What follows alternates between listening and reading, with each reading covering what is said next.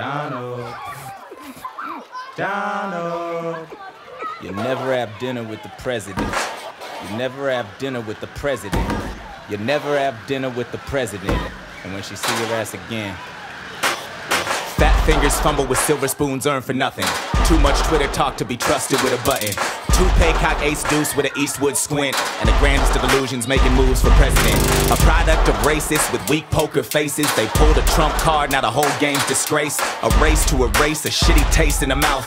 It rings antebellum in the belly. Upselling deplorables is diplomats with cash tax free. He say getting money and it's funny to see. Your trailer business is belly up. Yelling hysteria, compelling emails when every statement he make hilarious. She fuck with your soul like ether. Will teach you to speak, you know you're not. On party jump ship daily. Lose. Prove that you lost already. Wanna see immigration go down? Elect his ass. Watch most sane Americans skip town singing.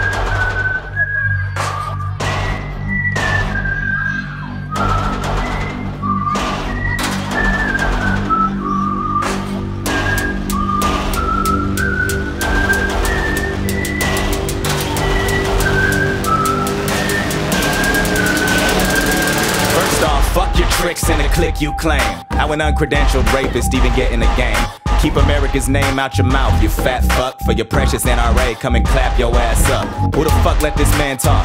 Shit is embarrassing. A fearmonger swearing to protect the world from terror and statements he keep on making. And media keep on taking it as if a crazy narcissist ravens are entertaining. Can't relate to shit, cause his life been too cushy. And keep grabbing vaginas, cause won't no one give him pussy.